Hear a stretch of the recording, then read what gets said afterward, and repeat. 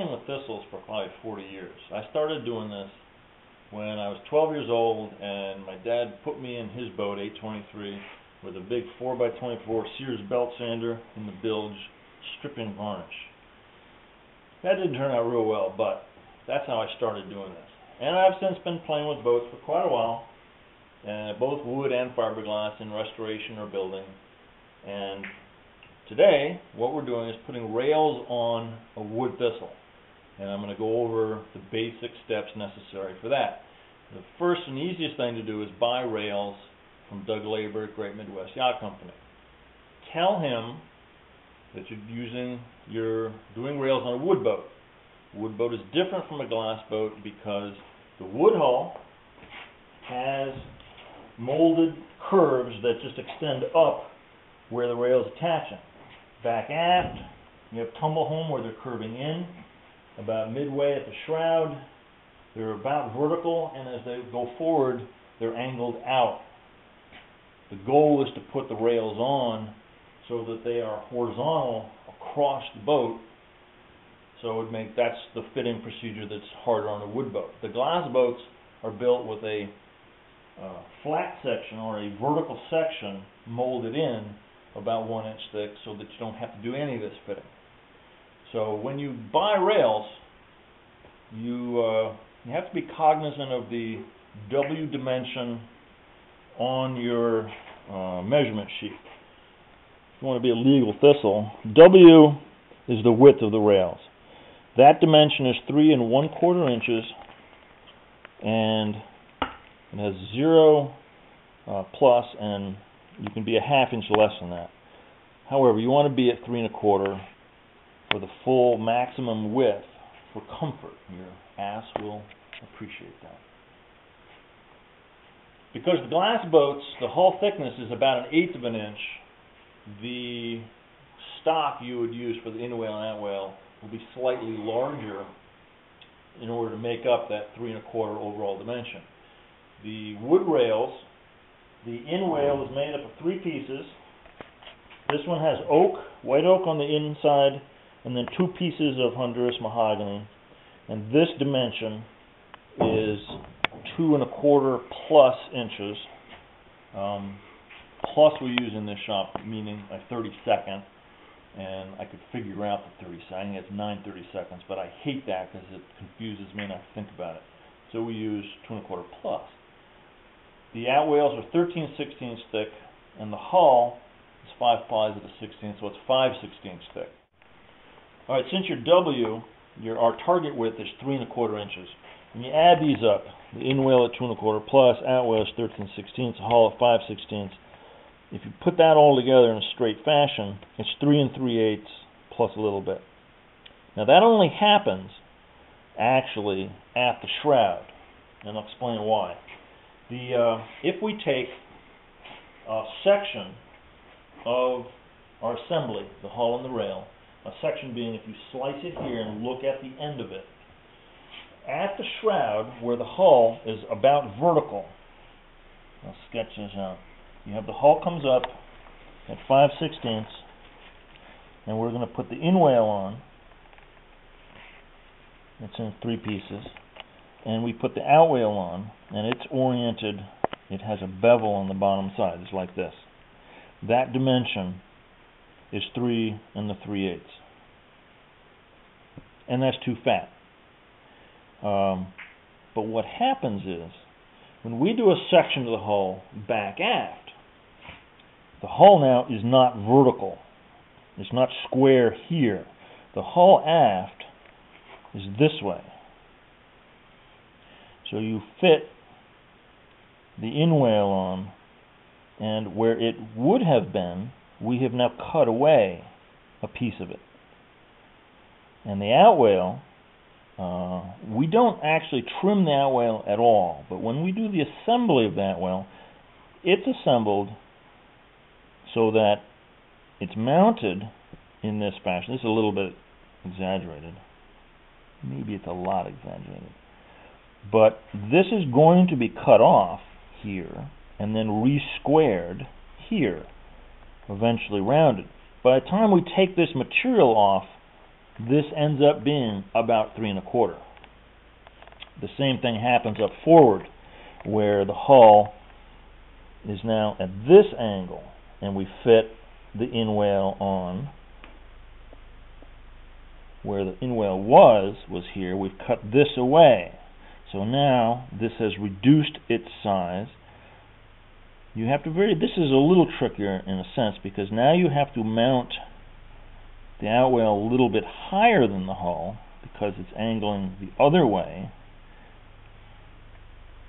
so that when that gets cut away you have this dimension. You've trimmed, you trim this out when you're done uh, and that now because we've trimmed it all is about three and a quarter as well. So the biggest problem area is where it's vertical because we've cut away the inwale uh, fore and aft to make it fit, but here we haven't. So what we'll end up doing is just trimming some of that to get this dimension down. We want to do it that way because from an engineering point of view, we've made these rails with the oak as the outboard and the inboard parts. And in beam engineering and structural beams, those are the two stronger, tougher pieces of material. We could just install these and then trim the oak, but then that's reducing the size of our strongest pieces. So we want to trim the inside so that we maintain the larger, stronger pieces as our in, in our component structure. All that weird talk. Uh, so, on to fitting. Okay, when you buy the rails from Doug, they come, the outwale comes, and it's 13 16 thick. You have your top flat, which is square to everything, and the bottom is a 10 degree bevel. That makes this an inch, and the outside is 7 eighths of an inch. When this goes on the hull, back aft, we want you want to place this so that the top ed inside edge is flush to the hull itself. And then when this gets screwed on, you know, you'll screw it so that it's square to, or, you know, straight into the inwale. That gets tricky. This will eventually get trimmed off flush, and then this will get trimmed off vertically, and then it'll end up getting rounded. So you end up with your bevel and all this. The difference in what we're going to do in this video is this boat, because it's a pristine boat that's virtually never been sailed, we were able to take the outwales off, and the outwales are in perfect shape. A couple of minor scars here and there, but nothing that a little sanding won't take care of. So they've already been, they're white oak, they've already been fit to the boat, and because they've been sitting on the boat for 40, uh, the boat's 54 years old. And after 54 years old, the white oak has taken shape, even though it's off, it's in the shape of the hull. We already have the holes drilled, so they're already fit and ready to go. It's the same dimension, 13 16ths, as a new outwale, and uh, but it's already pre-fit, so we're just going to use the old ones. Saves money too. So that's the difference in the new and old. You can see We'll walk this way with this piece here. You get up in the shroud area and this gets put on, you can see that it's relatively flat. Uh, as you go further forward and it's beveling,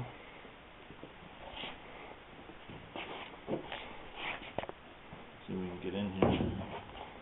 This is low. So when this gets mounted, if it's a, a raw rail, it's an untrimmed outwale like this, it has to be placed slightly up here, maybe an eighth of an inch, to accommodate the fact that it's beveling down. I have this, what this is, is uh, just a temporary support, just to hold the rail approximately in place while we're working. Because I'm doing this alone, no extra hands.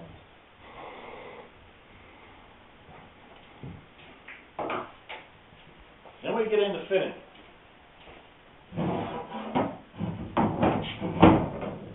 We started this. We fit the transom we started this fit. It's slightly, needs to be beveled slightly more all the way aft. To help know what we're cutting, we can put a reference. And I'm just gonna look at this. This is already flat. And I wanna take a little bit more off the top.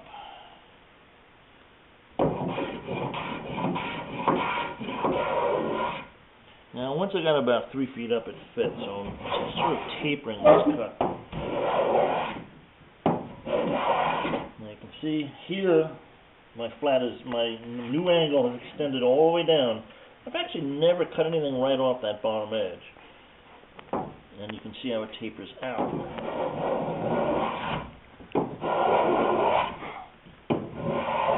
There's a little bit of technique here. Now, an alternative alternative way to do this for those faint of heart, I kind of like to just do it all by eye. But you can use something like a, uh, a bevel square, slide, sliding bevel. Rail out of the way for a moment. Use your stick, which is basically across the boat, straight. You can lay this on here and make this bevel match what the hull is at a given point. And then take your rail at that same point, put it on here, and see how well that matches. Well, that's pretty close. So that's another way you can check that. I don't like to just do it by eye. So once we uh, start the fitting process, I like to clamp, clamp these place and start testing.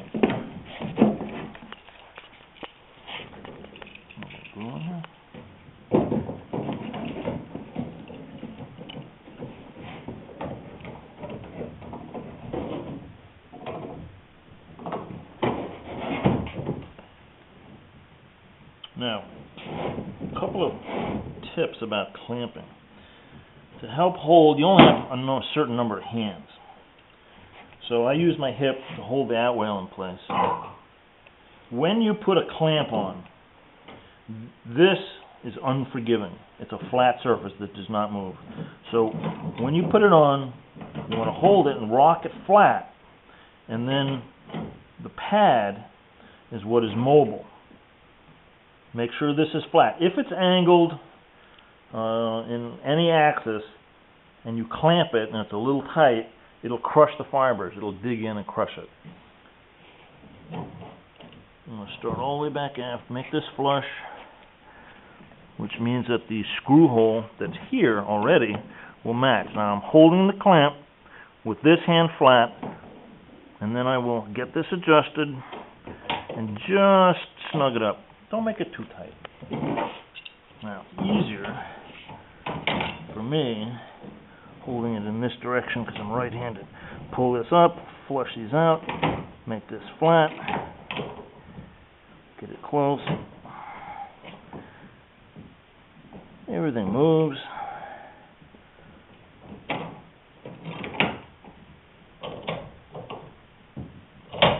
Okay. You can see why. Now eventually when we do this, we'll clamp this that we're specifically between the screw holes, which on this are pre-drilled because we're using the old one. If you're using the new one, a new piece of wood, you actually have to do a layout and figure out where the screws are going to go. That's a whole nother problem. Because you want to figure out where your grating is, where your spinnaker blocks go, so you don't have a screw, you actually want a screw just forward and just after the spinnaker block. You got to locate your shroud, do the same thing, and then space accordingly. Now the old way rails were done, uh, you actually had the screws are what are they, three and a half? They're about I guess they vary some. They're nominally uh, four inch on center.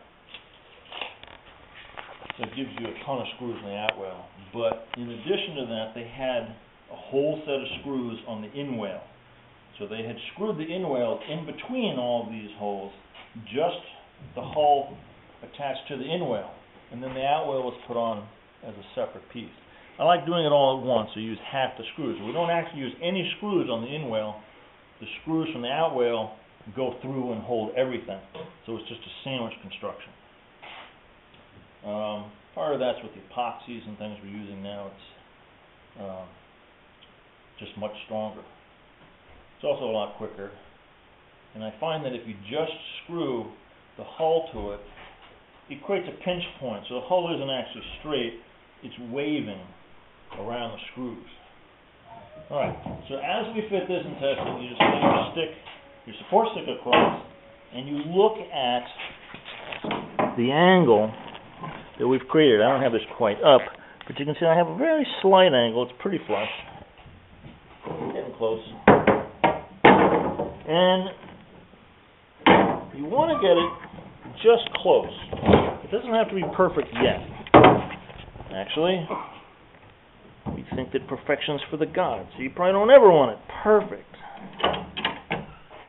Okay, one of the issues we have in this pristine virgin boat is that after sitting in the garage for 45 years, when we took all the parts out, they literally popped out. There's no glue held anymore. And then the boat seemed to shrink and change shape a little bit. Now they do change shape once all the pieces come out. Anyway, they become a noodle. They're very floppy. This is a very rigid hull. But what's happened is, whereas the rails would normally fit, you can see how the rail is, does not fit the hull the way it is now. And what we discovered in using this existing outwell, when we put it on flush and match the screw hole at the, at the uh, aft end, and we uh, attach it all the way going up forward, when we did the port rail, the plan was, oh, we can reuse all the old holes. Well, it turns out the outwell is a half an inch too long. We really don't know why that is. Uh, our best guess is that from sitting around uh, completely in a garage and not exposed to humidity and weather, this boat, the whole hull is just shrunk. And when we took it apart, it just it kind of sucked up. And the same thing is true on this outwell. We make it flush here, we fit it around here, and it's a half inch too long. So part of what is going on is that when we put these rails on, it's pushing the boat back into shape. So you can see that as we've only fit three feet back here, this isn't fitting. But when you pull this into the shape that it's going to be, which is easy to do, you can see how it now changes the shape of the hull. Now, because we're trying to make the rails straight, um, horizontally across the boat. And we're using our little sticks to support the rails and to, as our guidelines on that angle that we're trying to achieve to get it flat. You can see that right now we have this fit and it's still, the rail is slightly down. And it's open here and tight here. When I go here though, and the reason that we're not too concerned about making this perfect as far as fitting, when we pull this rail, we twist the boat and it becomes closer to flat. This is loose, this is tight. So as we fit the whole thing, it'll change. And if it doesn't fit exactly, we'll go back and just fine tune it a bit. That's the reason also that the we haven't attached it through the transom to pull it aft is because this angle, the angle of the uh, hull as it intersects the transom will change as we're attached all the way along. And we'll uh, actually fine tune that once we get it fit completely. That'll be our final dimension and we'll lock it in. We don't want to lock it in now because then it'll put extra strain on it and it'll just pop the joint. Okay, back to fitting. So we're actually pretty good on this. And what I do is I just uh, I start marking stuff. So for now, we're okay. Up to there. just draw a pencil on there. I'm tight on the bottom, it's slightly angled, it flattens up. Might even be pretty good up here. Have to test it.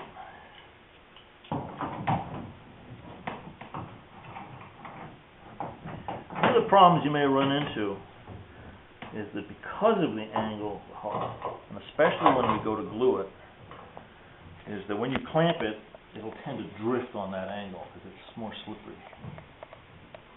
Alright, so we just test it. That is down a hair.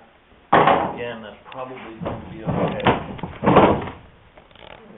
Where I can see it. That should be all right.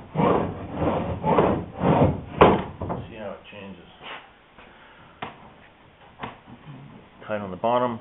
So this is, uh, this is good up to here. Okay, up here too. You can hold this, and I haven't planned this at all, I have a huge gap here, right about where I said okay. It's fit from here back, and I have to start fitting this.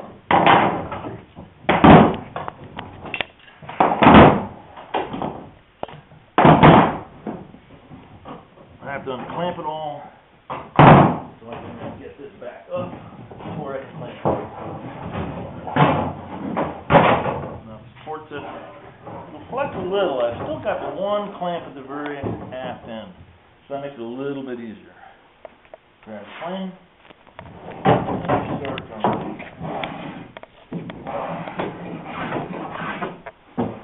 As we're moving forward, this angle's gonna change, slowly, slowly, starts to flatten out.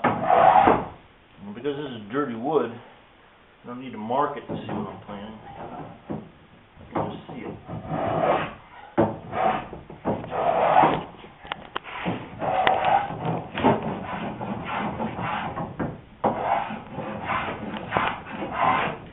Now you almost, this is laying flat here, you can almost see this angle. It's right here, and you're kinda matching it.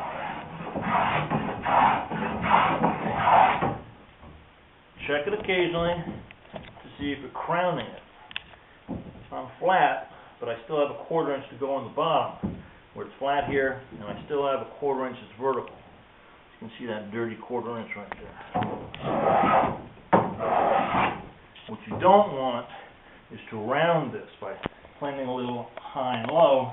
You want it to be a flat surface. Just use the edge of the block and it should rock on it.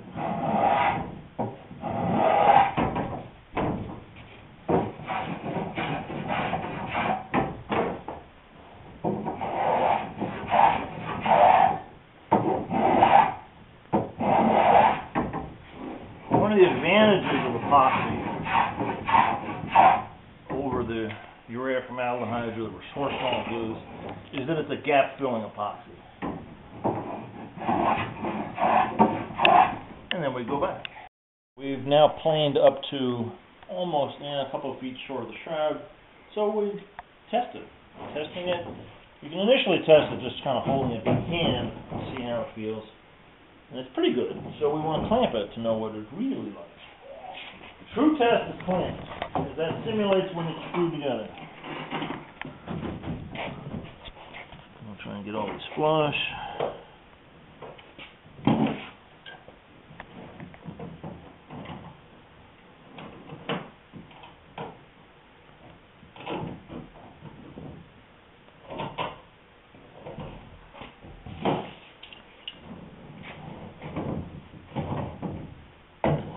I hold the oil up with my hip. This is why you don't want to use wear good clothes, because uh, we do this with epoxy, it's the end of those clothes. Now this is being held a little bit high. Move your stick forward or eliminate it so this will lay in place.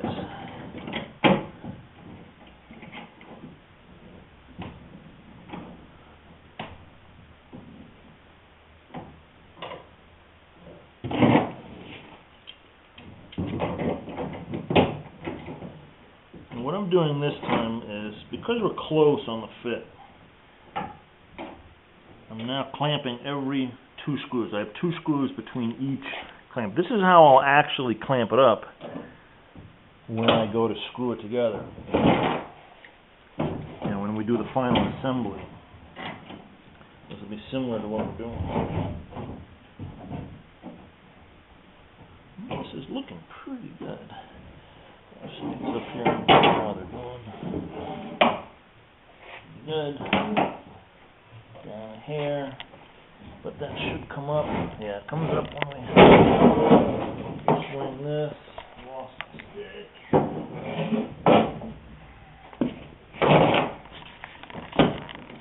Is where you need a lot of clamps.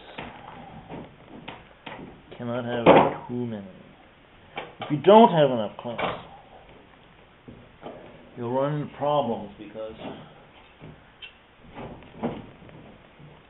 if you're not clamping pretty continuously, you'll have gaps, and then you don't, it doesn't, uh, it may not line up in the end. And the problem is with fitting the, now when it gets fit, it's an inside dimension, so it's tricky to fit. You actually have to clamp consistently tightly all the way from the stern forward to see where it's actually gonna end up. Because if you use too few clamps and you have little gaps going along, when you go to do the final assembly and you screw it from the stern going forward, you'll find, it'll change the length dimension. The gaps go away, and then it's changed. That's bad. More gaps.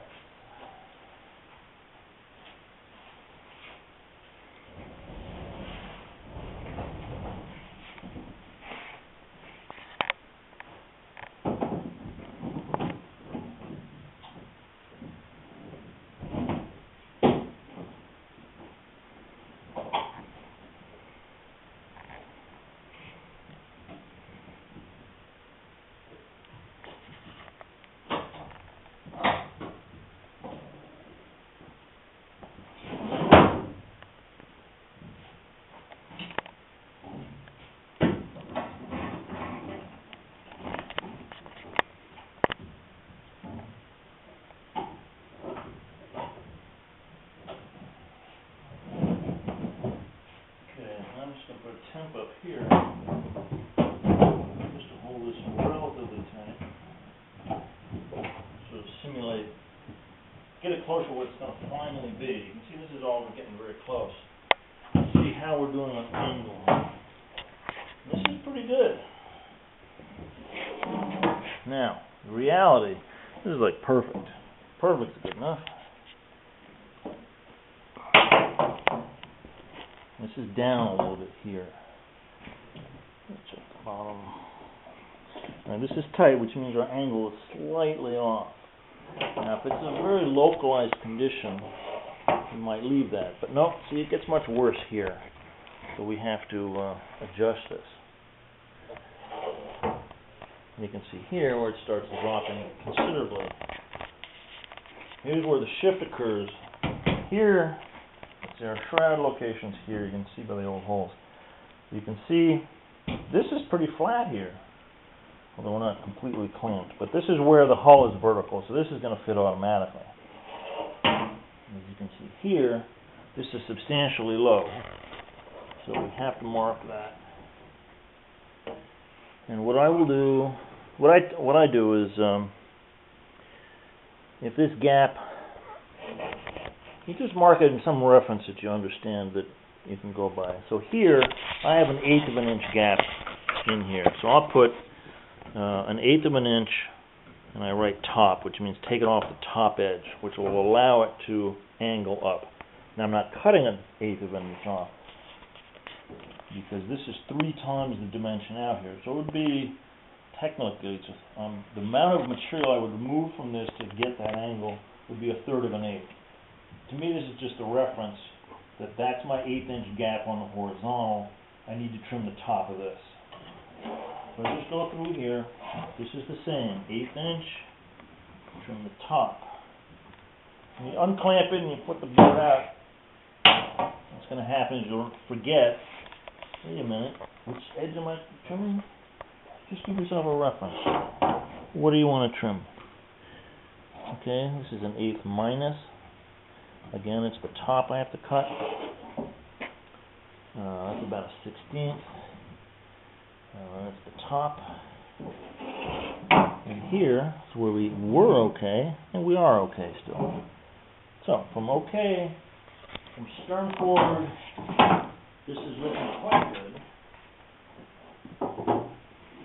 So, what we just set up and did, this still, this has to get trimmed on the top edge a little bit more. Here.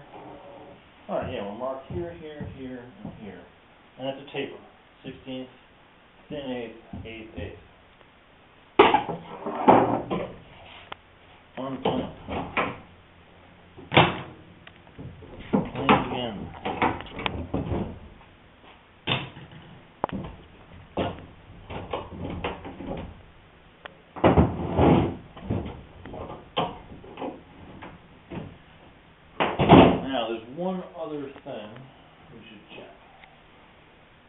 Talked about the W early on, and that's the width. Back here, we're at three and a quarter. Let's check where it says okay. Here, we're three and a quarter plus just a hair. Plus just a hair. We're gonna end up belt sanding this varnish off this outwale, so that's okay. Here, we're three and, uh, shy five sixteenths. This is the last point of okay, which means ideally we'd plane this a tiny bit. So this is uh, for width, I'm going to put W, we're uh, plus a 32nd here. So that we can afford to plane this off. Again, we don't want to adjust that trimming the oak. We want to keep the oak full size. We'd rather trim it out of the, uh, the interior. So we'll get a couple checkpoints here. This is three and a quarter plus, which is also a, uh, that's a thirty second wide. But this, remember, we're going to be trimming this to fit better. So we're probably okay on this, so I'm not gonna trim that yet. So that's the other measurement we're concerned with. We need to check that. Okay, we've unclamped, we left the clamp here jam this back here to support this above the hull. Now we just refer to our notes. We're okay on our angle up to this point. However, the width is plus a thirty-second. So, from here, we just wanna keep the plane dead flat on here, don't change the bevel, and just take off a slight amount of material. As we get up to here, we wanna take it off the top, so you really wanna twist it a little. Take a little off the top here. Here we're just reducing on width. Now, if you want, again, you can put your reference marks here to see what you're planing. I can kind of see with the light. I can see my bevel. I can feel it. But uh, use whatever tricks you want. Here we're up at the eighth of an inch off the top.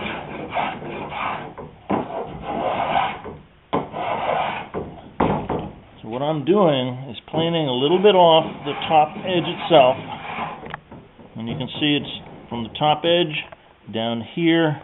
And then I'm pretty much going to connect these two and make it flat. As we move forward,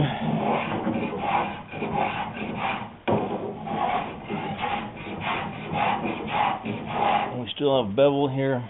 I'm guessing at the shroud it's about plumb. So we're going to taper this out and twist it until we're just about dead flat right there.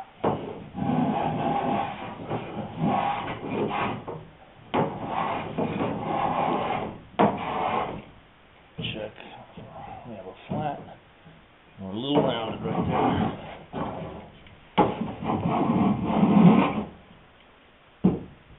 Flat, flat. You see where that's rounded. You can see it rock. That usually happens where you're making a transition from being more more of an angle and as you slowly twist it That's usually where you'll catch a bit of a round. Okay, so the plan, we just, clamp her back there. See how we stand.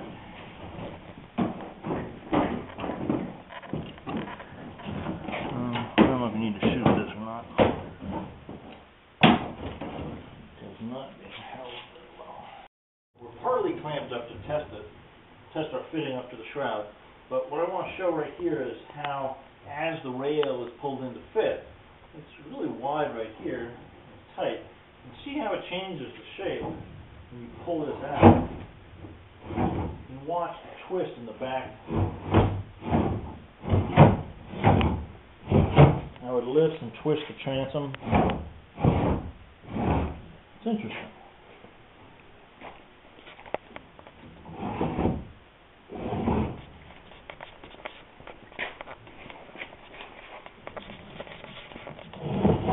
shot from aft, how it's positioned.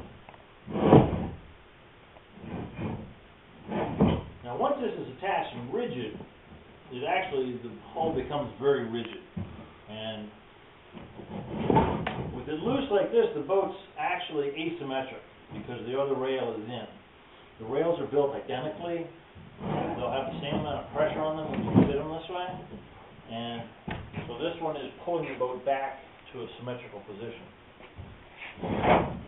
It's interesting to see how much flex there is. As strong and stiff as these hulls are, they do have some torsional um, ability to move without the, uh, the rails and pieces in them.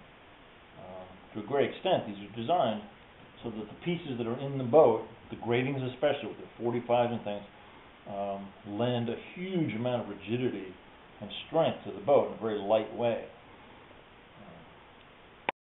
Again, when you clamp this, don't be too tight. Just make it firm, just holding it. Otherwise, the clamps, the clamps are very powerful and will compress and dig into the wood. You don't really want that.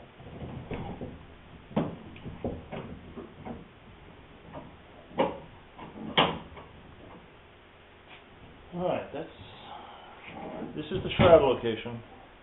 So that's about as far as we could get before. Let's see what we got. Alright, this is now angled up. That's the first, we haven't had that before. Let's move back, take a look.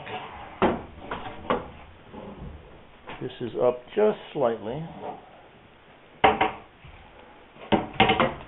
And that's flat.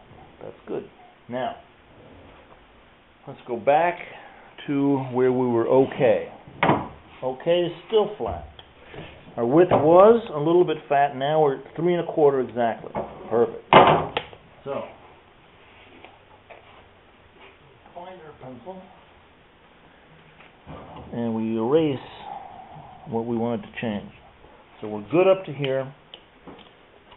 This is three and a quarter, maybe plus a hair, and that's very flat as well. So we're no longer wide, and the angle's good. We're now okay up to here.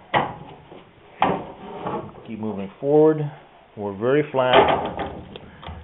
We're at three and a quarter. We're okay. So we're fitting nicely here.